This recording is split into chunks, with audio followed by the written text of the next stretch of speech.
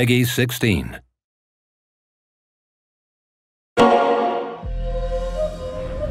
Suffering. Corruption. It ends today. The mandate of heaven is lost. The Han must be overthrown.